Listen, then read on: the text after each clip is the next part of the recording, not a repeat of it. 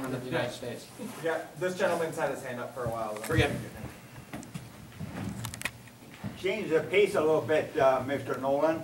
My question is, uh, this uh, bill that the president signed regarding the uh, nuclear with Iran, could you walk through that with me a little bit and uh, tell us how much notice we get when we want to go and check it out?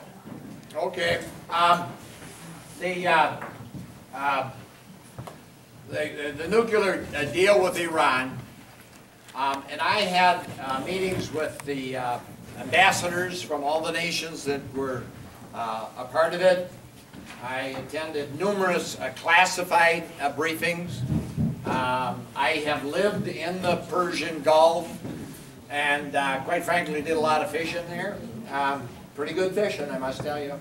Um, and um, where we were at with Iran was they had enough uh, nuclear fissile material to build about a dozen bombs in anywhere from a couple of weeks to a couple of months prior to this agreement. Um, as a result of this agreement, they agreed to get rid of all of their fissile material, which we are now told they, they are. Uh, they had to pour concrete into uh, their uh, uh, plutonium processing silos. Um, they had to get rid of two-thirds of their centrifuges.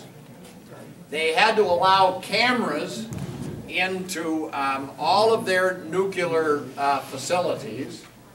And um, they had to allow uh, 150, 160 uh, inspectors in there to inspect this uh, on a regular basis. And until all that was done and or is done, uh, none of the sanctions that related to that could be removed.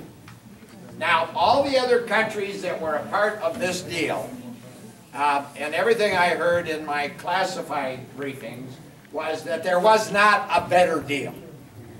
So we went from a period where Iran could develop a nuclear weapon, a dozen of them, in a matter of a couple of weeks or a month or two at most, to where now it would be at least a year. And we have the most elaborate inspection out there that we have ever had. Uh, no country has ever allowed that kind of intrusive uh, inspection.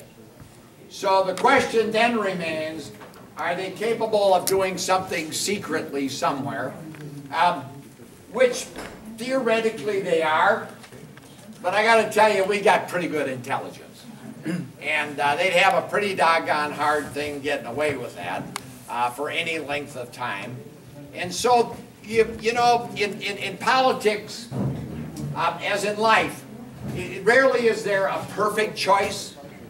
Um, in this case, everything I witnessed and saw, there was not a better deal uh, anywhere. So the other choice, which is what some people are advocating, is let's go to war.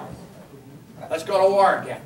So how many people think want to afford a war um, uh, with, with Iran? I can tell you something else, having lived there, okay? The Iranian coast is all lined up with missiles. Short-range missiles, long-range missiles, Chinese missiles, Korean Nodong missiles. Um, and the other side of the coast is Saudi Arabia and the United Arab Emirates and Kuwait and Bahrain. That's all lined up with missiles. That's our missiles, okay? I can also tell you, um, you know, it, it gets hard talking about some of this stuff because you got classified information. Um, Why wasn't NATO Infor- involved in that? information that's, that's not uh, classified. So it, it's, um, I, I don't want to get, get in trouble here. you know. What I've been told is we have to be, we have to give them fifteen days to thirty days before we go in and check that stuff. Um, Now, that's, That, that would be a secret facility. All the existing facilities, very good, in it's my opinion. twenty-four hour seven online cameras and inspectors everywhere. So we got it, we got a year to fix that. So the other alternative was to go to war. Go to war. And I tell you what, you blow up, you go and blow up the Persian Gulf, and, uh, um, we've got serious problems, uh, big-time problems. And sometimes, sometimes you have to take a chance on diplomacy. We've gone to war again, again, and again in the Middle East, and what has it produced? It's darn near bankrupt us, and uh, it has created uh, all kinds of problems here, there, and everywhere around the world. And so it's a judgment call.